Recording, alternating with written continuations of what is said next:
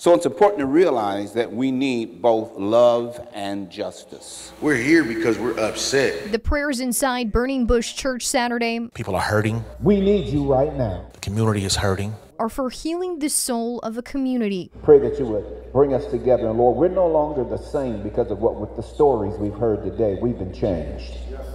Today, my goal is to at least have the black community and the Akron Police Department leave with a better understanding of each other. The church is hoping for a candid conversation I want to see change as much as anybody else. between police officers, give us the benefit of the doubt. We, we typically do the right thing. city and community leaders, But it's absolutely imperative to not only talk like now, but you have to listen. and Akron neighbors. I'm willing, and I have to be a part of the solution. I know there are a lot of questions out there, and The I know exchanges come several months after police fatally shot Jayland Walker. His death sparked protests and flamed tensions between law enforcement and the community. You assured me that Akron was different than Minneapolis and other cities. The topic spanning questions, fears, and concerns about gun violence, I lost a niece, a 21 year old, to gun violence.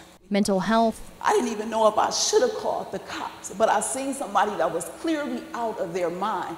What's going to happen to this person if I call the cops? and biases. There is a difference when it comes to descaling situations if it's in a white community or if it's in a black community.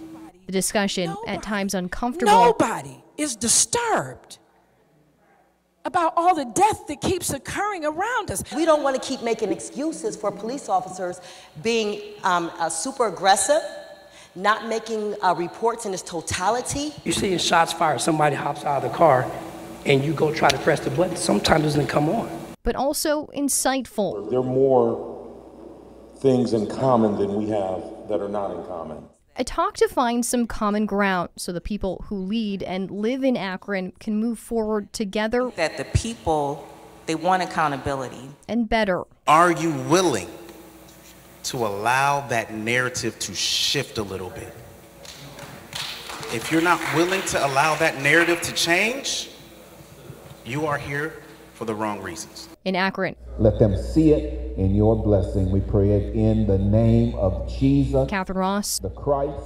If there are other religions here, Allah, God, and whoever we worship, News 5. we need you. And in that name we pray.